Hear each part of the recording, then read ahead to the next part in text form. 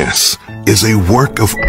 art. I want to go home. I don't want to.